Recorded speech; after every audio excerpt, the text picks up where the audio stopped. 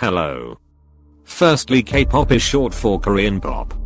No it's not from the Korea, which consists of this amazing man, but from a democratic country called South Korea. Next if you see this instead of this then I think you're blind. If you think these men are girls then sweetie I seriously think you have a problem with your eyes.